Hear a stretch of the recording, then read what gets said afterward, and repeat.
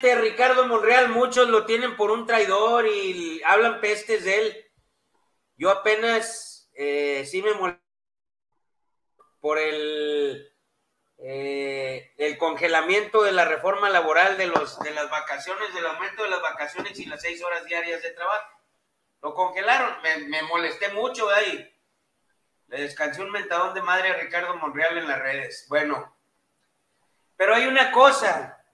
Ricardo Monreal es un político estilo Porfirio Muñoz Ledo, muy hábil para negociar, tejer alianzas, eh, es pragmático.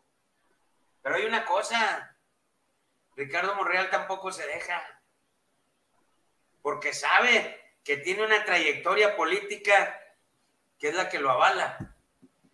Hoy, le, hoy lo culpan de, de ser eh, el artífice para la derrota de Morena en la delegación Cuauhtémoc.